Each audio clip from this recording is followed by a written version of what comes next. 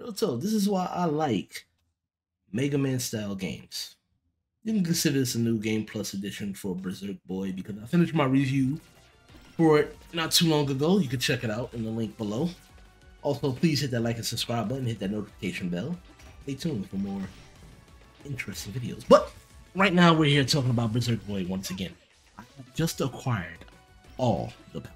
You know what that means? It's time to head back to each one of those stages and have a new conversation.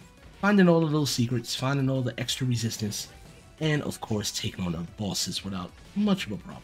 And try to do it without dying.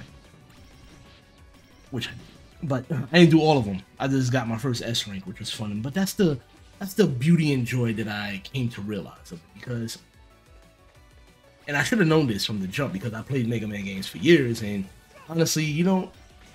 I mean, for unless you're a tryhard or something like that, then you can go through the first portion of it, getting all A's or S's without dying and stuff like that. But I'm still learning. So I'm still I'm not great at these Mega Man games. I'm gonna say that I'm awful. But as I progressed and I was getting a little bit down on myself for not getting the high scores at all, which makes no damn sense. I started the realization that I'm learning, I'm getting used to all the abilities, the powers, the levels to see what they can do.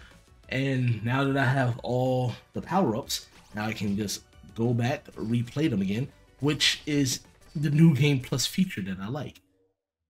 It's new game plus without actually adding new game plus. And then there's a new game plus plus in Berserk Boy with the EX levels that you're gonna have to go through as well, which is gonna be I wanna say harder difficulty.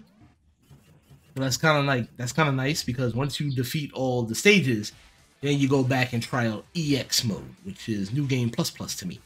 Some people might disagree because going back through the levels again the powers is not really a new game plus, but honestly, technically it is because if you didn't get all the resistant fighters because you didn't have the ability to do so, then that's technically going through a new game plus, as you have to now you got all the abilities to go through the special areas. Like with the flame ability, you can drill through the walls, and now with the last, I don't even know what the hell to call that one. Like shotgun, but he has laser beams, but you can use that to go through specific doors. And now that I'm going to do that, especially with the ability to fly now, it's going to actually make a lot of things easier. I just wanted to touch base on that real quick. Nothing too crazy, but it's just fun to look back and you know come to that realization that some people don't even know.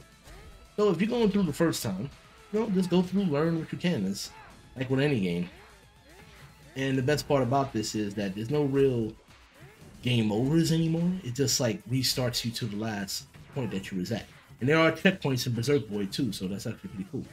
So it's a lot easier than what we had back in the day. I mean, you could go to retro style, I believe, in Berserk Boy. So yeah, you get to start all over again. Well, yeah, I like I like this feeling. It's it's it's intense, but it's also relaxing at the same time. Where you don't have to stress too much about it. But yeah, that's my new game plus for Berserk Boy to add an additional thought process to the game. It's available right now. You should check it out. Definitely on Steam, Nintendo, Switch, PlayStations, Xbox.